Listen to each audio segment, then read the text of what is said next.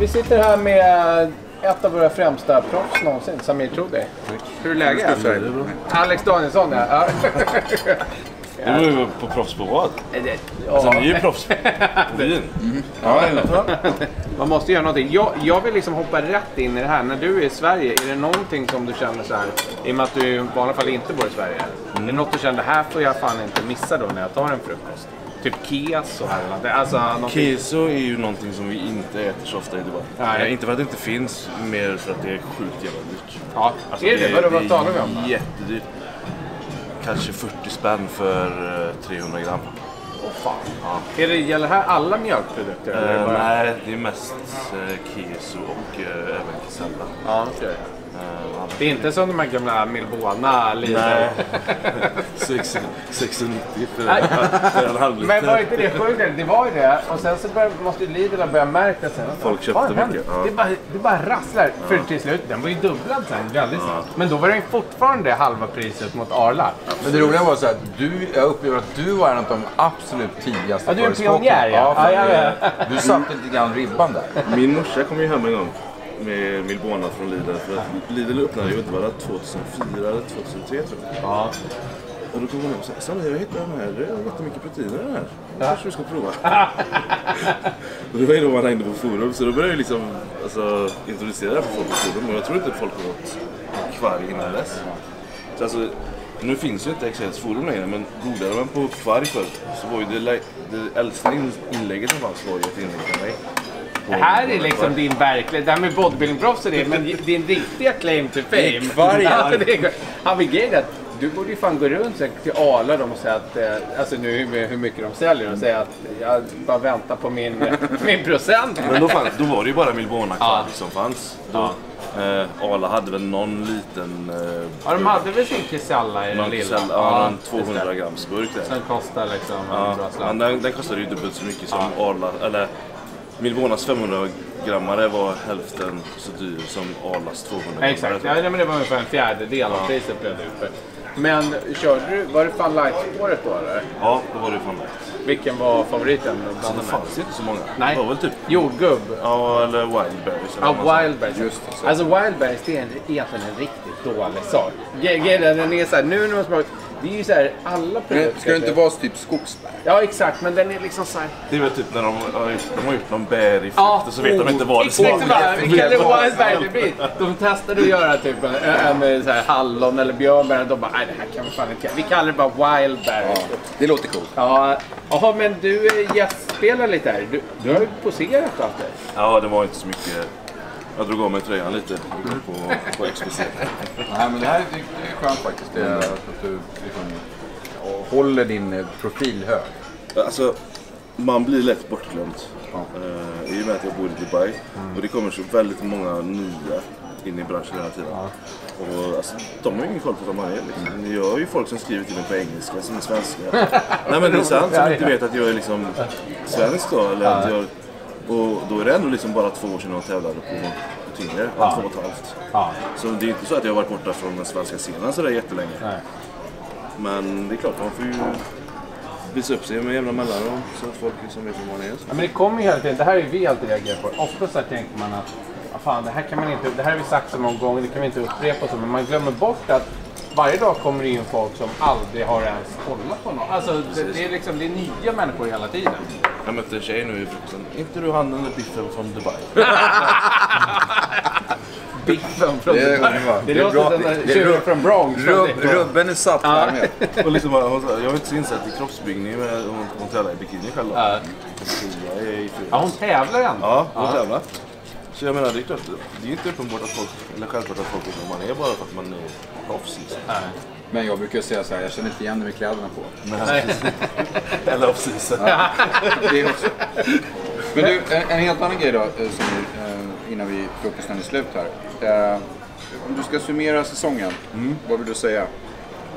Att jag är väldigt nöjd. Ja. Både med hur den börjar och hur den startar. Eller, Både hur den börjar och hur den startar. börjar och hur den slutar och även att jag fick köra Olympia då. Ja. För det var ju mitt mål i år. Förra året så var ju första proffssäsongen. Och då var det ju mest bara för att liksom doppa fötterna och känna på det. Sen i år var ju faktiskt målet att få köra Olympia. Hur var det då? För jag menar, du har ju så här, det är ganska roligt. Du har ju gjort någonting som ganska få eh, lyckas med. Och nu menar jag inte bara inom byggning, utan när man har sån här, en dröm. Alltså Mm. oavsett om det är så jag vill sjunga på en scen, jag vill göra det här, vad det nu är. Du har ju först tagit det här proffskortet och du har också nått Olympia. Och ibland blir det där, alltså det är alltid så här, eh, var det som du hade tänkt det eller? Liksom, kan, kan verkligheten någonsin svara upp mot drömmen på något sätt? Alltså det jag trodde skulle förändras mest var kanske att man skulle få bättre sponsorer. Eh, Men rent upplevelsemässigt så var Olympia precis som jag hade tänkt att det skulle vara. Ja. Det är ju inte lika stort arrangemangsmässigt som Arnold Classic. Jag körde Arnold Classic i början av året. det. Och där blir man lite bättre omhändertagen. Alltså de, från att du landar på flygplatsen så blir du liksom upppassad Ja, ja. till att du åker hem. Medan på Olympia så är du lite mer självgående. Du får liksom ta hand om dig själv mer. Vilket inte är några problem. Jag har ju rest och tävlat Du är en självständig person. Ja, Ja. Så, men som upplevelse då. Eh, Men alltså det är helt, är helt galet. Alltså bara komma till Vegas och, och se alla som ska tävla. Alltså det är ju världseliten som är där bara. Så det, Men du upplever alltså att du fick, en, en, en, du fick inte lika mycket kommersiell nytta av din Olympiastart? Nej, jag tycker inte det. Eh, Sen är det alltså, de, de flesta som lever på sporten är väldigt själva. Ja. Så det är väl det att jag tycker det är lite svårt för atleterna idag att visa sin potential. För att alltså, ska man satsa på Olympia och en sån tävling, eller liksom satsa som proffs överhuvudtaget, så bör man ha en ekonomisk oberoendehet. Alltså just för att Alltså att man inte ska jobba i alla fall. Liksom. för att det tar bort så mycket stress. Alltså vardagsstress. Och vardagsstress är något som förstör sjukt mycket. Och det kan förstöra relationer, det kan förstöra nej, men allting. Och, alltså, det kan ju förstöra en fysik. Man vet ju hur folk reagerar på, på kortisol och, och sånt. Och bara det att veta då att man inte behöver oroa sig över ekonomin för nästa halvår. Eller bara en sån sak gör att det blir mycket lättare att satsa. Nu har jag det väldigt bra där nere i Dubai. För att jag jobbar ju som PT där nere. Och då funkar det ändå att jobba bara ett par timmar om dagen. Ja. Så jag behöver liksom inte jobba åtta timmar med ett tungt jobb och sen göra min träning utöver det. Utan det räcker att jag jobbar två, tre timmar om dagen. Så jag sköter min träning då. Ja, men det visar ju någonstans det här som du säger att det, vi pratade om det, att det är ju ganska tufft med ekonomin som proffs. Det är ju många som tror liksom att eh, bara man får ett proffskort i bikini så är det liksom, då är det bara att hämta ut den där A-time Mr Olympia-rollsen och mm. Men det, det är liksom, till och med du då som har dels kämpat dig till ett proffskort och sen gjort det jävligt bra som proffs och nått Mr Olympia. Och bor i Dubai. Alltså det, det är många faktorer du har fixat. Absolut. Och ändå så är det liksom inte så att det bara ra, eh, liksom regnar pengar. Sen har jag, alltså, jag har ju sponsorer som hjälper till väldigt mycket. Ja. Som underlättar för mig och jag hade ju inte klarat det utan dem. Nej. Men det innebär ju liksom inte att jag är ekonomiskt oberoende av ett, ett jobb liksom. Jag måste ju ändå jobba. Borde det vara, ty, tycker du att det borde vara, alltså jag funderar på det ibland, just hur prispengarna är fördelade. Tänker jag lite på, som på Olympia och sådär. Jag menar i och med att ändå då, eh, det här kanske är naivt av mig, men jag tänker att de här de namnen som kommer topp tre, topp fyra, så här, de är de som kanske har rätt bra sponsdealar. Kunde man inte då tänka sig att eh, pengasumman därmed var lite mer jämnt fördelad? För det betyder ju mycket mer för den som kommer nia eller tolva. Eller sådär. Jag kom ju trea på fyra tävlingar i år. Ja. Och Arnold fick ju mest pengar på då. Ja. Men de andra tävlingarna fick jag ändå liksom tusen dollar varje tävling. Ja, ja. Och skillnaden då mellan att komma trea och komma fyra där du inte får någonting. Det är ändå nä- nästan 10 000 kronor. Och det gör en del. Alltså det betalar Ja, ja, liksom resan eller boendet om man är borta en vecka och så. Så det är klart, jag tycker att det borde vara fördelat. Inte bara över topp tre eller topp fem utan kanske ner till topp 10. Ja. Men att de delar ut det mer, mer jämnt. Och även att det blir mer jämnt fördelat mellan 212 och den öppna. Ja. För nu är det helt, Ja, det är lite skillnad nu. helt galet. Alltså, Men det är ju som du säger också, alltså det folk inte, man kan tänka sig oh, tusen dollar här, 10 000 där, men, men det kostar ju en del att resa. Alltså de här ställena, tävlingarna går ju oftast inte liksom, det är inte här på Älvsjömässan utan det är ju en bit och man ska liksom bo och vara där och sådär. det, alltså, jag körde ju sex tävlingar. Ja, Varav två var i USA, en i Nya Zeeland, en på Fiji en i Prag. Ja, det var nog de. Jag tror att du hade, om du bara fattar, vad tror du hade för också. kostnader för de här sex Alltså, jag, jag vill inte Det, du vill på inte räkna Vill inte. Den här dagen har börjat så bra så du vill inte börja räkna på det. Men jag vet att alltså, eh, Nya Zeeland var dyrast. Ja. Dels resan och sen boendet. Boendet på Nya Zeeland var helt Och Jag var ju tvungen att stanna där först innan tävlingen och sen efter för jag skulle vidare till Fiji. Ja. Så var jag ju borta nästan två veckor då. Ja.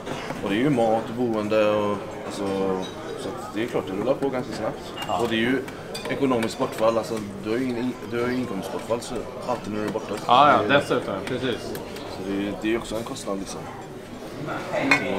Är det här, tycker du, att någonting som man bör prata om? Jag tänker till folk som drömmer om att bli proffs.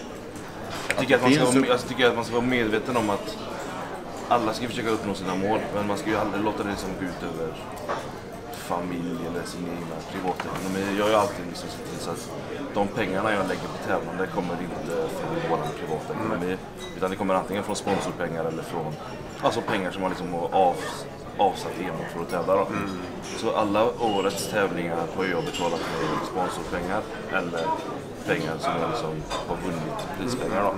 Så det har jag liksom fått bekosta av tävlingen. Men man kan säga så här i alla fall, man kanske inte ska bli proffs av ekonomiska Absolut motiv. inte. Då, finns det bättre sporter att bli proffs i. Men eh, det är, det är ju väldigt få som är proffs idag för att de vill bli här, ekonomiskt oberoende Ja. eller för att tjäna pengar. Utan det är ju för att man älskar sporten helt enkelt. Jag tror inte det finns någon som är bra i bodybuilding idag som inte älskar det de gör. Och Då spelar det i regel ingen roll hur mycket man tjänar för att du kan inte hindra någon att försöka uppnå sina mål bara genom att säga att nej, men du kommer inte tjäna några pengar. Ja, men alltså, vi säger att det tar tio år att bli färdig kroppsbyggare, alltså, i bästa fall. Det innebär att man ska jobba gratis i tio år. Hallå, det, den, det prospektet känns inte särskilt Nej. in, Nej, då, ingivande. då kan man göra nästan vilket jobb som helst och spara sig. Om vi, om vi tittar på, en- på nästa säsong, 2019. Vad, hur ser planerna ut? Alltså, nu måste jag ju kvala till Mr Olympia igen. Så jag behöver lite mer massa. Och Var? överallt. Det vad tycker du? Så jag kommer att köra off-season eh, i alla fall två, tre månader till. Sen så blir det väl några tävlingar till sommaren tänker jag. Är det stressigt? Jag tänker, du får säga, jag, jag känner alltid, det, liksom i hela den här, när du har blivit tvungen, du har blivit tvungen att tävla ganska mycket de senaste åren. Alltså för att ta proffskortet, för att gå till Mr Olympia så här. Känner, får du tillräckligt med off-season eller känns det stressigt att du liksom... Jag tycker det känns bra. Ja. Eh, För att man kommer till en gräns där det liksom inte går att äta så mycket. Nej. Eh, Och den gränsen flyttas ju liksom varje år. Men de första åren så upplevde jag att det kunde vara skönt. Alltså, jag tog ju två års off-season ibland. Och från jag tävlade ju 05 och sen nästa gång jag tävlade var 07. Och sen var det 09 och sen var det ja, 2010 och sen 2012. Så när vissa perioder har det liksom varit två år emellan tävlingarna. Men då har jag liksom upplevt att det är ju den perioden man kan lägga på sig så mycket massa som möjligt. Min fysik kan ju bli bättre utan så speciellt mycket massa. Så det handlar ju om muskelkvalitet och bara att få träna liksom. Och ge den den tiden det tar. Sen, så, sen så måste man ju alltså, se till så att man håller sig aktuell också. Mm. Man kan ju inte ta en två års off-season som proffs när man har sponsorer och sånt. Nej, ja. Det är ingen sponsor som vill det. De vill att man tävlar och att man visar upp sig. Att man Såklart. eventuellt gästposerar och sånt. Och du menar, visst, alltså håller man en okej form, det är klart man kan göra en gästposering och så. Men i regel så kanske man inte håller sådana jättebra off-season form hela tiden då. Så man får ju tänka lite på den ekonomiska och den liksom kommersiella biten där också. Det, men jag upplever att jag, jag har ändå hyfsat tid med att förbättra mig från, från säsong till säsong. Ja, Var tycker du att du, måste, att du har liksom störst förbättringspotential rent fysiskt?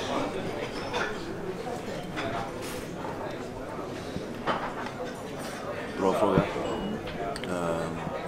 Vad, vad, alltså, vilken del av din fysik är du allra minst nöjd med? Nedre delen av ryggen kanske. Och eh, hamstrings det låter som mycket mark. ja, ja. Men jag liksom, det, det har, ryggen har alltid släpat. Det var den som blev bra sist om man säger så. Men du, är det samma, du, du talar lite om det här med kärleken till sporten och att det är det någonstans som, som ändå gör en eh, till proffs. Vi gick ju tillbaka till det här när, när mamma kom hem med, med liksom Lidl-kvargen och så. Är det samma kärlek nu? Är det liksom samma grej du älskar med sporten nu som då? Eller förändras den kärleken med tiden? Så att? Nej, det är nog samma. Jag älskar ju att träna framförallt. Och, alltså, folk frågar mig, ska du inte vila nu efter Olympia? Ja. Varför då? Vila från Det är klart, alltså, man vilar ju från dieten gör man ju. Ja, man ja. behöver ju inte vila från träningar. Det finns ju folk som tar liksom två månader vila från träningar. Och, alltså, Men det känns som du kommer från det. Det här är någonting vi pratar ganska mycket om många gånger. Att det finns nästan två typer av byggare upplever jag. Där det finns vissa som, in, alltså som kanske kommer mer från liksom eh, kärleken till själva kroppsförändringen. Medan andra kommer från början från kärleken till träning. Att man känner att så här, och vi, det kanske var mer av sådana förut har vi upplevt. Att det liksom var de som verkligen, de verkligen gillade träning. Ja, det är lite mer old school. Ja, exakt, och det känns som du tillhör ju den kategorin. Du har ju gjort, ja, vi pratar mycket om det, men du, ju- du har gjort alla tokiga grejer inom träning. Liksom, gjort, du, du, du tränar som en Är det styrkelyftare. fem bygger- stycken? disketter, ja, de, de, hade, de hade ingen sån strö... Det där använder ju mormor ska jag säga. Det får man inte missa när man gör kaffet henne. Nej men det känns som... Ja. Det känns som du... Ja, men det känns verkligen som att du kommer från träningen och det är därför det blev byggning snarare än liksom att man kommer från... Ja, jag vet inte. Ja, alltså det finns ju folk som tränar som måste ha ett mål som tävling. Liksom. Ja. Alltså, och sen liksom, när de kommer off season så tappar de liksom all motivation. De vet inte vad de ska göra Exakt. eh, överhuvudtaget. Och liksom faller det liksom en, eh, ett tomrum. Men för mig är ju liksom off season den tiden man kan förbättra sin fysik mest. Liksom. Det, då tycker jag nästan, där är ju gymträningen det viktigaste. Sen, eh, det är klart. Det, man tränar ju av olika anledningar men det, för mig har det alltid varit för att jag liksom älskar att vara på gymmet. Du, du reser ju en hel del. Du har beskrivit hur, hur du varit i alla världsdelar i princip under, under år som har gått här. Eh, hur upplever du liksom att, att, att fitnessindustrin har förändrats? Jag menar, du, du, har varit med en massa år dessutom, så du har ju sett liksom olika skeenden. Eh, mår vi bättre nu i, i fitnessbranschen nu än, än, eller mår vi sämre? Jättebra fråga. Eh, Det har ju blivit fler tävlande rent generellt tycker jag. Eh, Men det har ju fördelats lite annorlunda. Alltså förr kunde det, alltså när jag körde SM sist gången, vilket är ganska länge sedan, 2010. Då var ju, eller ja, första gången jag körde 2009, då var vi 16 stycken i minus 90. Det, det löser du inte idag kan jag säga, i minus 90-klass. Men då är ju fler I mäns fysik istället. Mäns fysik och classic bodybuilding och bikini fitness. När jag började tävla 2005 så fanns det ju bara kroppsbyggning och eh,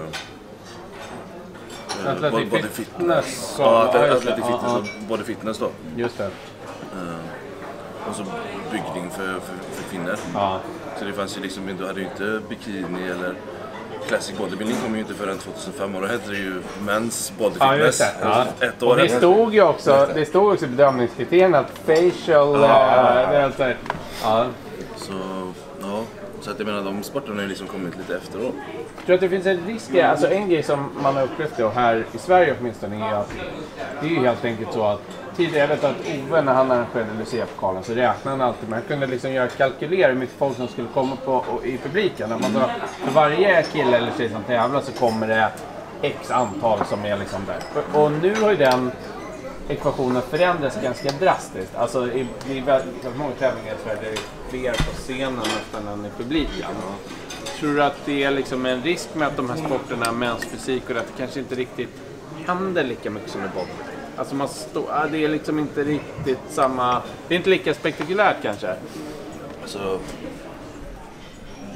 man flexar ju, de flexar ju inte. Nej.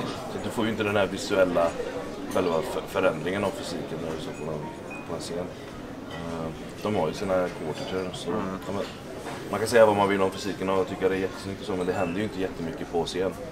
Eh, Så det är ju inte lika roligt att se på som women's fysik eller kroppsbyggning eller någonting där det faktiskt händer någonting.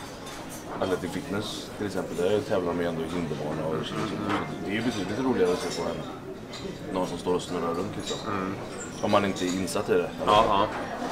Så jag kan tänka mig att på samma sätt som det lockar fler så kanske det också blir väldigt ointressant för vissa. Det blir lite mer mainstream och, Ja. och jag tror att för att vara liksom ett publik, ha ett publikvärde så måste det nog till en lite mer oh fan-faktor. Och den får man kanske inte i någonting annat än det mest extrema nu för tiden. Och det var ju också så tidigare, jag menar byggningen innehöll ju man tror ju nästan att så här, när man pratar om det, ja men alla vill inte ha den här byggarfysik, men byggningen var ju från minus 70 och jag menar i minus 70 då var det ju fysiker, du tävlar i minus 70, där var det ju liksom fysiker som var som mäns fysikfysiker. Det var ju inte det att det sa oh, extrema byggarfysik, utan det fanns ju hela spektrum, bara det att man flexar liksom. Och jag menar, då när det bara fanns alternativet att köra kroppsbyggning för, för män så blev de ju automatiskt också lite mindre när de började. Ja. För att du, hade ju inget, du kunde ju inte liksom börja med mäns fysik och sen gå över till klassik och sen gå över till byggning. Nej, Utan nej. eh, Ville du tävla så var det byggning som gällde. Alternativt atletik fitness då, men då fick man ju vara bra på det. Ja, vad härligt. Men Du, menar, om man säger alltså bara en sån sak som typ strongman som folk tycker om att se på. Det är ju ingen sport som folk är intresserade av för att de har kunskap av själva tävlandet eller så. Ändå är det en mainstream-sport som sänds på TV och som folk liksom bänkar sig för att det är action. Och det är action med någonting som är extremt, både i styrka och fysiken. Så att det lockar ju, alltså vem som helst kan bli imponerad av det. Men att du ser en strandfysik, jag menar... du- äh, nej men Ja, visst, ja. det ligger mycket slit och så men alltså du blir inte, du blir inte imponerad bara wow. Nej, det är du, ju kan- du, mer kan- du kan inte sitta snyggt. Alltså, fascinerad nej. liksom i, i två timmar och kolla på en mensfysikkille. nej men I två timmar. Nej, då har man det fått finns ju vissa lägen där man gör det i sig. Men, men, men Ja, inte nej men det ligger något i det. Alltså grejen att det, det är som du säger, det måste ju också vara, det måste vara liksom en liten faktor där man säger att fan det här är inte något man ser varje dag. Liksom. Ja, så att, eh, ja. Och även om jag liksom gillar alltså hur tävlingsmomenten idag är så, så är det kanske, hade det varit bra idé att försöka göra det mer intressant för mainstream på något sätt. Antingen om man då blandar in andra moment eller om man, ja jag vet inte riktigt. Men det, ja, det finns Kanske mycket att göra. införa Det finns, posering i mäns fysik. då. det finns ju mycket att göra. Inte bara mäns fysik utan även kroppsbyggning. Liksom, och Försöka göra det liksom mer, inte mainstream men intressant för mainstream. Ja. Eh, Kroppsbyggning kommer aldrig bli mainstream. Alex har alltid velat ha ett poängsystem. Så man liksom skulle, så, och det, teori, det hade ju varit attraktivt att kunna följa... Alltså jag menar nu är det ju så att man måste sitta väldigt långt fram. Man måste ha väldigt mycket rutin för att veta egentligen... Alltså jag minns det när jag kollade på mina första tävlingar. Att så här, jag hade ju fan inte en aning om vem var bättre än den andra. Alltså det var ju bara folk med muskler. Det är liksom allt. Och dessutom är det så, det man gör är att man rangordnar ju hela startfältet. Vilket innebär att man vet ju inte hur bra den första killen eller Nej, exakt. förrän man har sett den sista. Nej, Ehm, och, och det är ju lite jobbigt alltså. det var roligt med poängen. Som, som liksom i simhopp eller eh, Ja. ja. någonting. Ja, nej. Jag ska Men, testa den. men eh, det, det kräver väl lite, viss, eh, lite utveckling till det. Ja. Men du Samir, har, har du hunnit träna idag? Nej. Det här. Vilohelg? Bra. Jag har kört väldigt hårt. Vila. När åker du tillbaka? Imorgon? Imorgon. Imorgon Måndag. måndag. Är du hel? Är du liksom, känns det, Ja, kroppen okej? nej, jag, kroppen känns okej. Det är ju gamla skador Ja. som man liksom är rädd för att slita upp igen. Men eh, peppa peppa så har jag ingenting just nu. Jag fick ju ett diskbråck förra året. Just det. Men jag lärde mig ju träna runt det. För det var ganska jävligt det. Ja, det var jävligt. Och det var precis det var första dagen på diet. Det var kroppen som sa bara ah, ah, ah. Det här med det skiter Men vad hände då? Alltså konkret? Var det, var det böjde du eller markade du? Eller Nej, gjorde jag körde tunga stångrod och sen efter det så körde jag kabelrod. Och det var väl under stångroden som det small till och sen så kände jag jättemycket i- när jag körde kabelrod. Så jag tog det lugnt resten av passet för att det var liksom ingen sån här jätteakut smärta. Men sen på natten så, alltså, jag har aldrig haft så ont så jag tänkte att det här, för jag har fått mycket ryggskott och sånt innan. Men det här var det sjukaste jag varit med om. Så jag ringde läkaren direkt och sa att jag måste komma in och få ryggen kollad. Så de gjorde ju röntgen och sen skickade de mig till magnetröntgen. Och, och jag hade ju var det, 8 millimeter diskbråck på, på, på en disk som låg och tryckte på, på nerverna. Och sen var det diskbuktning på, på en annan disk. Så jag kunde inte gå på två veckor. Och bara på de två veckorna så tror jag jag tappade 4 centimeter på högerbenet. Bara för att jag inte stödde på det. Jag gjorde ju en Dexas eh, sån scan när jag var på Arnold. För att det var ju under dietet till Arnold. Och då hade jag ändå börjat träna ben något hyfsat igen. För jag hade lärt mig, typ, alltså man får ju lära sig att träna runt skador så gott det går. Och då hade jag fått inbjudan till Arnold så tänkte jag, jag köra. Men den DEXA-scannen visade på att mitt, ben, mitt högerben, som den sidan som var skadad, det var fortfarande två centimeter mindre och hade mer fett än vänsterbenet. Och, Det är jävligt spännande också, att det är mer fett. Alltså, ja. och det var liksom bara för att jag inte stödde på benet de första två veckorna i princip, så man tappade allting. Galet. Mm. Men du har fortfarande liksom känning av det där? Eller, eller känn, är, det, liksom, har du, är, det, är det helt utläkt och, och Det besvär? är, ut, nej, det är utläkt ska det vara. Men jag har alltid haft problem med korsryggen. Att alltså, diskarna är väldigt ihoptryckta. Så jag tror att mina diskar är väldigt utbytta. Alltså, kotorna trycker mycket på diskarna så att de blir utbytta väldigt lätt. Så jag kan ju känna liksom att det trycker på på nerver ibland. Och jag har ju ont i benet i vissa dagar. Men det, det har inte varit så farligt som det har varit tidigare. Och jag har inte I och med att jag lärde mig att träna runt det så har jag också inte fått något ryggskott sen dess. Nej. På peppar. Och innan hade jag alltid kanske tre, fyra kraftiga ryggskott per år. Så att jag tror det var det som till slut ledde till att... Mm, det här kan ha varit en blessing in disguise Ja, alltså. precis. Så min rygg, och min rygg har ju liksom blivit bättre i år än vad den har varit innan. Vad, vad är det du inte kan göra på gymmet? Kan du köra mark? Kan du stångrodd? Jag kör inte mark. Eh, Stångrodd kör jag. Men väldigt kontrollerat. För stångrodd tycker jag när man kör en tung kan vara nästan ännu värre än mark. Alltså Ja. för landring. Ja, för att det liksom... Det blir liksom ett gung så här. Ett momentum. Ja.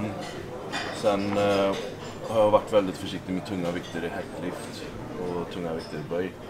Men nu har jag kört, körde böj förra veckan och då var jag ändå uppe på 140 vilket inte är så jättemycket. Men det gick ändå bra liksom att köra och kände ingenting. Så jag tar det försiktigt helt enkelt. Ja, men skönt. Då känns det som det blir spännande 2019. helt Verkligen. enkelt. Mm. Du, tack för frukosten Samir. Det var jä- jätteschysst att Jag du bjöd in oss. Vi gör den här eh, klassiska brofesten. Ha en bra resa hem. Tack.